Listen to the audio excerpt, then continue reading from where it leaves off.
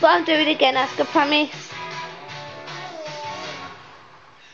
Good evening and welcome to the final night of the Isle of Wight Festival 2012. The weather gods tried to put us off by sending the wind and the rain and the, the mud.